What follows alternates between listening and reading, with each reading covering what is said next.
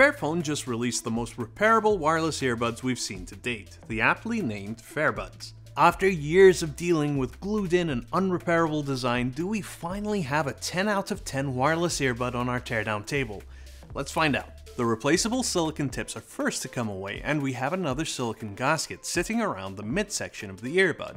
Applying a little gentle pressure in this grey plastic nook lifts a tray out which contains the battery. These are the most accessible batteries we've ever seen in earbuds. It's very cool.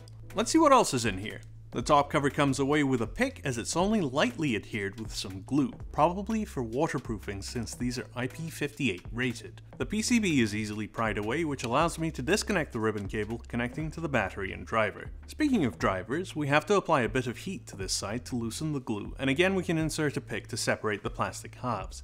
With the driver exposed, we can pry up the metal shield and disconnect the ribbon cable, which fully separates the midframe. And that's it for the buds, but we still got the case. The case has a single Phillips head screw that gives us prompt access to the 1.85 watt hour battery.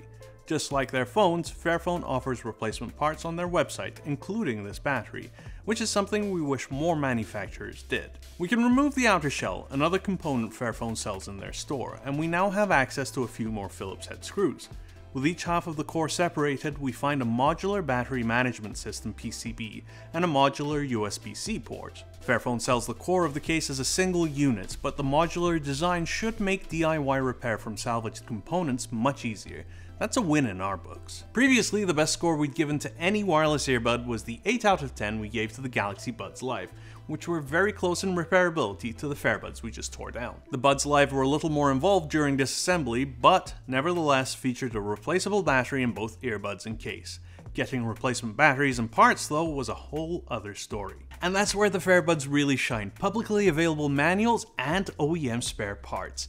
Companies like Fairphone and Framework are showing that there is a viable marketplace for sustainable technology within which the OEMs themselves are central players. That's enough to give the Fairbuds the edge and we're excited to give them top marks for repairability. That's right, the Fairbuds have earned a provisional 10 out of 10 for repairability. A well-deserved congratulations to the Fairphone team for their outstanding work.